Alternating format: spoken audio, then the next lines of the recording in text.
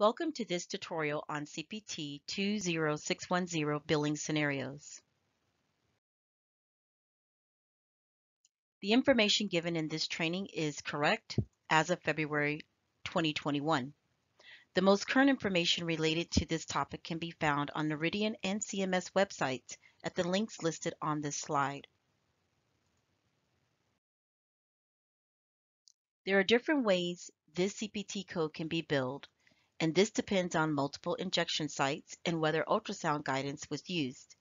The modifiers that will be used in each of these scenarios are very important to receive proper payment, as well as ensuring proper billing. First, we need to go to the fee schedule indicator listing. On the Noridian website, select the Fees and News tab at the top of the page. That takes us to the Fees and News page. Go to the left side and select Fee Schedules.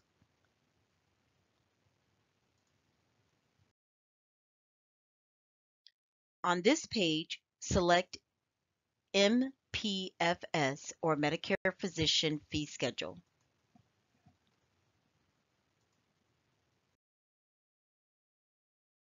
Select MPFS indicator list and descriptors when the new window opens, select Indicator List PDF.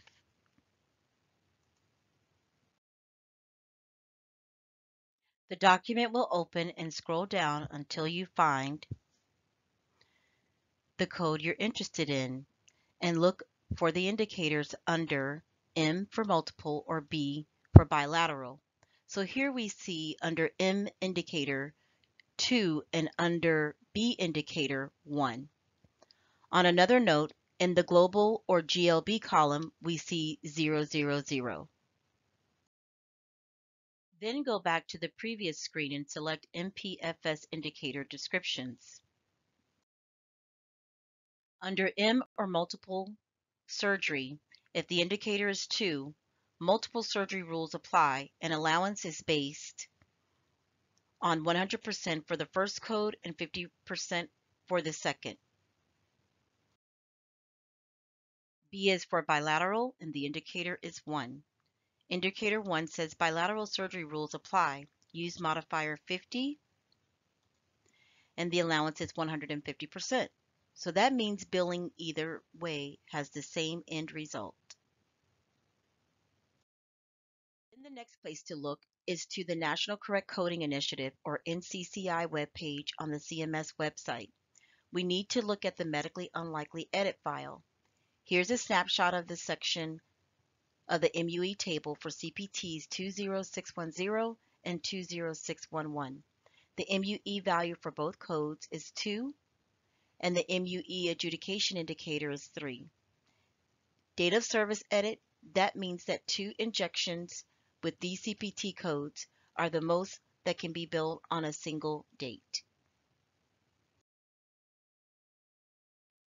Now let's go through different scenarios, what or cannot be billed, and which modifier to use.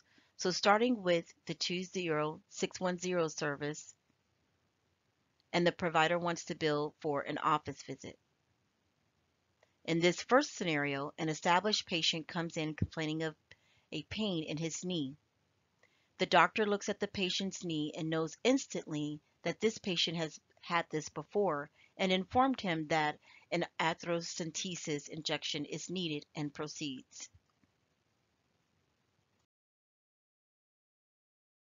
If the injection is performed on the same day as the established patient visit, since the doctor has seen this patient before, a significant separately identifiable service was not done to determine a need for the procedure and an office visit should not be billed. However, if this was a new complaint, the physician may need to do a complete system evaluation to determine if there wasn't a fracture or if a brace would work before determining an arthrocentesis was the best way to go. Then an office visit can be billed and a modifier 25 needs to be appended. Be careful here to make sure that there's a medical need to do this complete assessment. Don't do it just to bill for the office visit. Remember, when deciding if the visit can be billed, the history, exam, and medical decision making had to be done. The documentation should include that this was a new complaint by an established patient.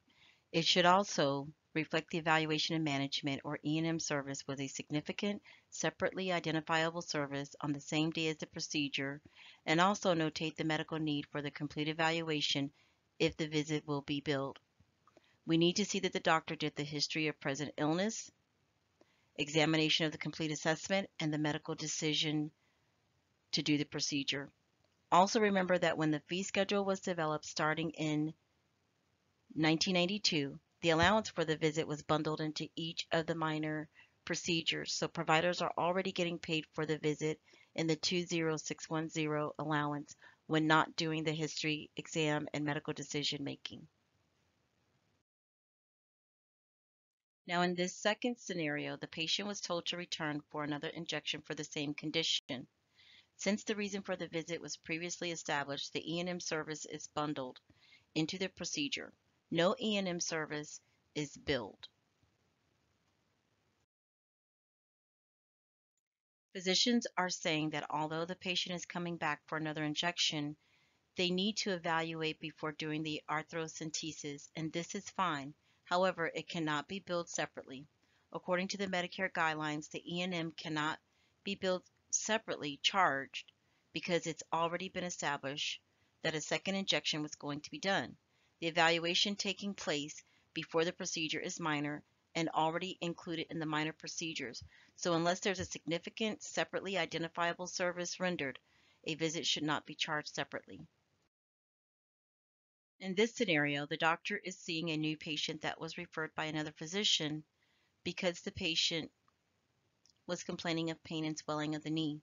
If an injection is performed on the same day as a new patient visit, modifier 25 is not necessary as the new patient visit codes are excluded from the global package. However, even on a new patient visit, if the physician can determine what the problem is without doing a complete total evaluation, then a charge for the visit should not be billed. However, like in scenario one, if this is a new patient and just by looking at it, the doctor thought he might need to do an x-ray to determine if there was a fracture or if a brace would work before resorting to an arthrocentesis, then maybe a new patient visit can be charged. If a visit is going to be charged, the documentation should include that it was a new patient and an evaluation was necessary to determine the need for a procedure and the reason why the evaluation was necessary just because it was a new patient is not a reason why a total body evaluation is needed. Is a total evaluation needed or can the doctor determine on viewing the knee? This is how it should be billed if the doctor did a problem-focused history, problem-focused exam, and straightforward medical decision making. As a new patient, this code does not need a modifier 25. In scenario 4, the patient returned for a second arthrocentesis of the right knee, but is also now complaining of pain in the left knee. The doctor wants to bill for a lower level E&M visit because the patient was evaluated for the left knee pain. If the injection is performed on the same day as the established patient visit, since the doctor has seen the patient before, a significant separately identifiable service was not done to determine a need for a procedure, so an office visit should not be billed. However, the patient is now also complaining of pain in his other knee, and the physician takes a look at the knee and assesses that it's the same as the other knee. Since it's a new complaint, can a modifier 25 be appended to the 99212 or should the physician not even be billing for this visit? The answer is this visit should not be billed because it is the same condition in the left knee and allowance for the visit was bundled into minor procedures. So providers are already getting paid for the visit in the 20610 allowance when not doing the history, exam, and medical decision making. Be careful here Make sure that there's a medical need to do a complete assessment. Don't just do it to bill for the office visit. Some physicians feel that if the patient comes into his office, he can just bill for the visit. Remember this when deciding if the visit can be billed. The history, exam, and medical decision making had to have already been done. Documentation should include that this was a new complaint by an established patient. It should also reflect that the evaluation and management service was a significant separately identifiable service on the same day as the procedure and also notate the medical need for the complete evaluation if planning to bill for the visit. Documentation needs to include the history of the present illness, examination of the complete assessment, and the medical decision to do the procedure. Now we're getting to how to bill when doing more than one arthrocentesis on one day. So in scenario 5, the physician needs to perform an arthrocentesis on both the right shoulder and the left knee. If the doctor did two joint injections, one injection was to the right shoulder and the other injection was to the left knee, modifiers RT and LT can be used. In scenario 6, the physician performed an arthrocentesis on the right shoulder and the right knee. Modifier RT needs to be appended to both lines, but another modifier is needed. If the doctor did two joint injections, one to the right shoulder and the other to the left knee, Modifiers RT and LT can be used, but in this case, it's both on the same side of the body. But if it's billed the way it's shown here, then the line 2 will deny as a duplicate.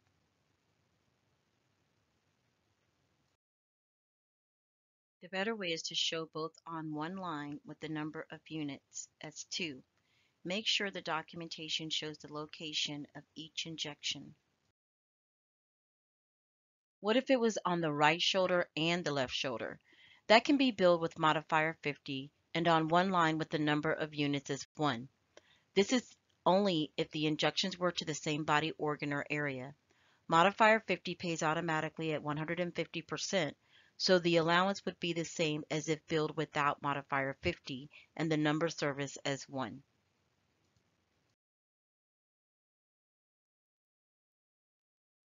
Moving on to scenario 7.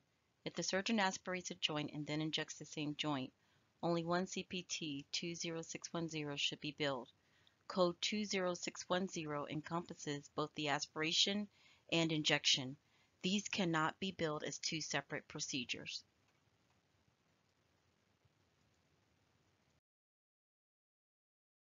Now in scenario 8, if the two injections are administered on the same joint, only one 20610 code should be billed. For example, two injections were administered to the right shoulder.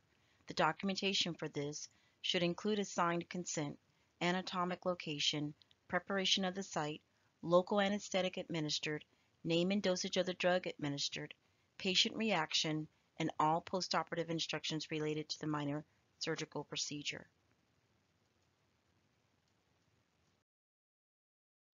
Here we have resources available to providers. First, refer to the NCCI table and MUEs for help with billing. We have modifier billing guides on our website located under Browse by Topic slash modifiers.